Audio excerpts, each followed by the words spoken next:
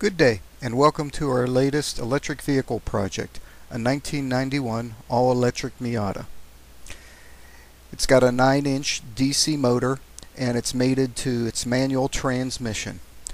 It works fine, there's no clutch, and uh, third gear works fine around town, plenty of pickup and acceleration. And then when you get above 45-50 mile an hour, take your foot off the accelerator and just slip it into fourth gear. Under the hood, things are a little bit cleaner with the engine removed. Front and center is a Curtis 500 amp controller mounted to an aluminum heatsink and underneath there is a small fan that turns on every time you turn the ignition on. Underneath the shelf is a 9 inch DC motor mated to the transmission and we retained the alternator which runs off the front shaft of the DC motor and keeps the 12 volt battery charged.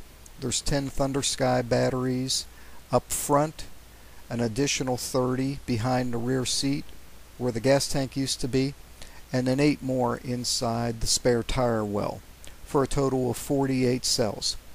The car's got excellent balance, slightly better than the stock car, and it's actually just lighter than the uh, stock car, 15 pounds lighter. And the weight distribution uh, move back a little bit. We've got 53% on the rear wheels and 47% of the weight on the front wheels. So the car handles quite well. We added a vacuum pump for the power braking system and we also had to replace the booster module as well.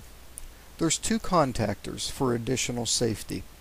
One contactor engages when you turn the key on. The second one engages every time the accelerator is pressed. So if you're in an accident and um, that second contactor will open up adding a little extra level of safety.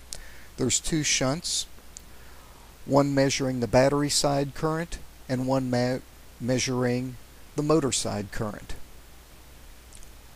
We've got two fuses, one in the front and one in the rear pack. And then for monitoring, we've got the blue view.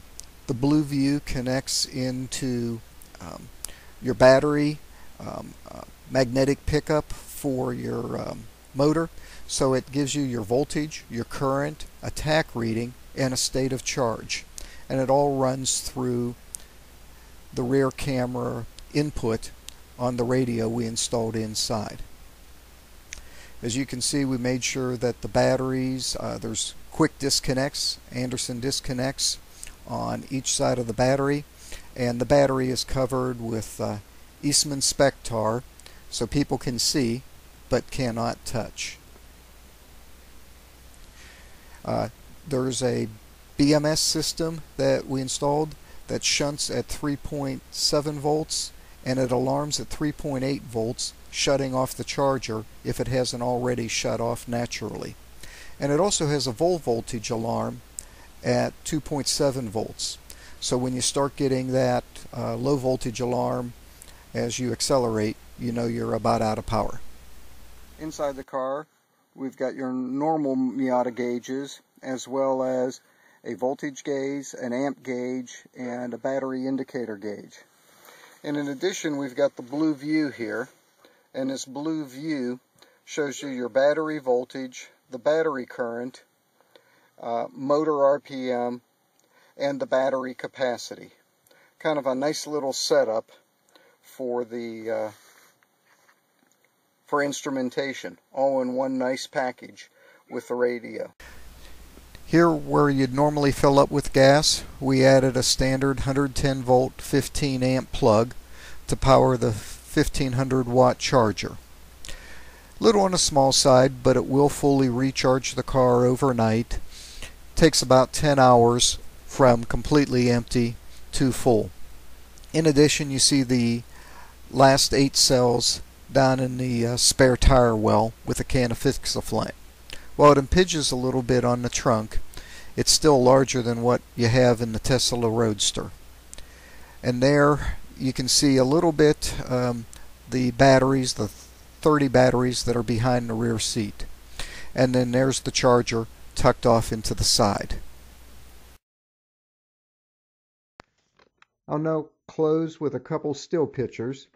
Here's a shot of me bottom balancing the batteries, trying to get them all at an even and low state of charge before we installed them back in the Miata. The second shot is a picture of the main battery pack, which is 30 cells right behind the rear seats. Uh, it was covered up with carpet, so it was hard to get a good shot. Overall, the car is performing very well.